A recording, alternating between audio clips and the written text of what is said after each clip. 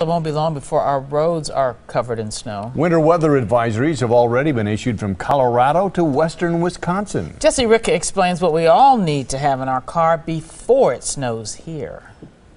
It's Winter Weather Awareness Week here in Wisconsin, and while you should have a winter survival kit in your car, the ones we found online were between 45 and $200. But it's just as easy to make one for a lot less at your local hardware store. Snowstorms can paralyze a city. Many were stranded in their vehicle when the Groundhog Day blizzard struck in 2011. Simply stocking up now could save you from that fate this winter, and you don't have to break the bank. Man, $1.50 for a first aid kit? Not bad.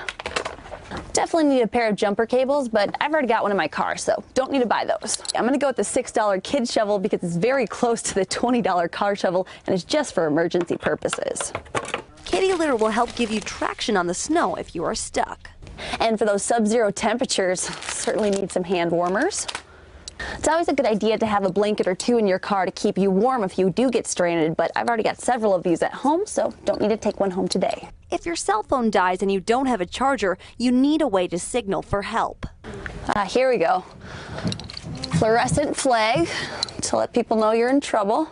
15 cents. If you want to upgrade your kit, you can get a flashlight that requires no batteries, or you could get a weather resistant one and just flip the batteries around so it doesn't drain out the power.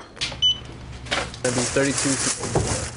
Awesome, under $35, and in Wisconsin, it's better to be prepared because you never know what winter is going to bring. In Glendale, Jesse Ritka, today's TMJ4. Always good idea to be prepared. And we've got more winter survival kit ideas for you at TMJ4.com.